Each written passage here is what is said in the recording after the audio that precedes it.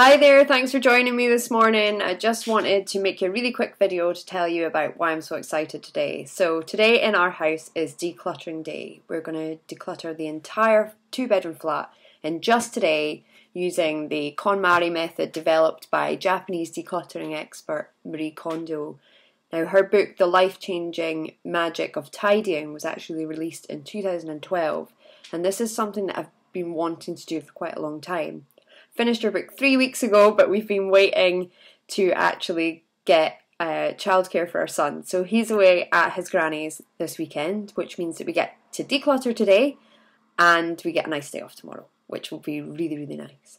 So, why I really, really want to declutter our house is because I spend so much time putting things away, putting things up high, uh, finding places for stuff, um, so that we're able to live in the space that we have. And it is really, really tiring. It can be quite stressful, and it means that I'm not really able to spend the time I would like as a family and doing things that I want to do.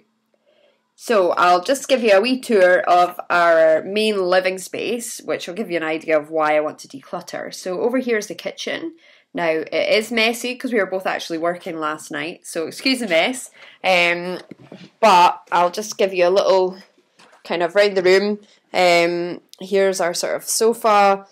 Over there is our kind of Christmas tree, uh, which is always shoved into a corner. Our dining area and some toy storage for our son.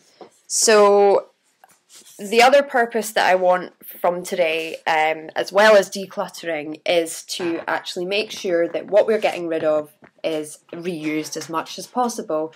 I doubt 100% will get reused because there'll be some things that the only option, unfortunately, is the trash. But everything else I want to try and give to local charities, local aid workers, and community projects to make sure that they get used as well. We all develop hobbies over a lifetime and think, oh, I'll have time for that another time. So today I've decided that it's time to stop making excuses. I want to live the life I've got now, not the life I might have in the future. Um, and so I want to get rid of a lot of stuff that I no longer use and no longer need.